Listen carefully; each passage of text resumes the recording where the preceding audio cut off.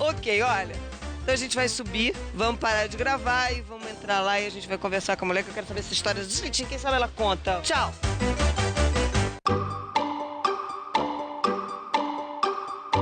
Essa luz me deixa horrível.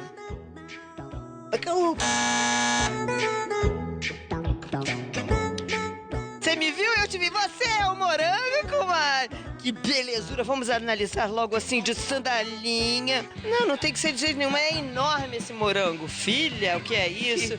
E você? Também. Nossa, eu pensei que era uma menininha assim. Quando falou moranguinho, eu falei, vai ser pequenininha, né? Vai ser... Mas é uma abundância de mulher. Querida, o que você tomou pra ficar com essas coxas? Vira as costas. Mas por que moranguinho? Isso não parece morango, não, hein? Isso é grande, hein? É um morango de tu, né, Monique? Querida, mas por que moranguinho? Na realidade, eu já tinha o apelido de moranguinho já há seis anos atrás. Há mais tempo, quando você tava no colégio, no jardim da infância.